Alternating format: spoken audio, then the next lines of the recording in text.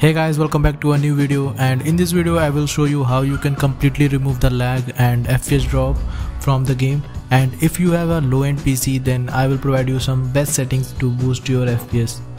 First open the Steam and right click on the game. Now click on manage option and then browse local files. Now right click on the exe file of the game and click on properties.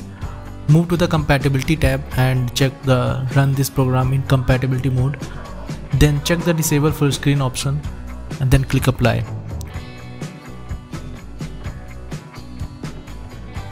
Now we have to delete the temporary files so just press window plus R and then type temp. Here you can file all the temporary files so all you have to do is select all and delete them. Now if you have a low-end PC and you are facing lag, stuttering and a black screen issue so follow these in-game settings and it will boost your FPS.